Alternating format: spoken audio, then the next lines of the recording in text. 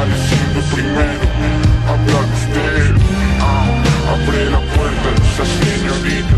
Fórmulas de cortesía, nada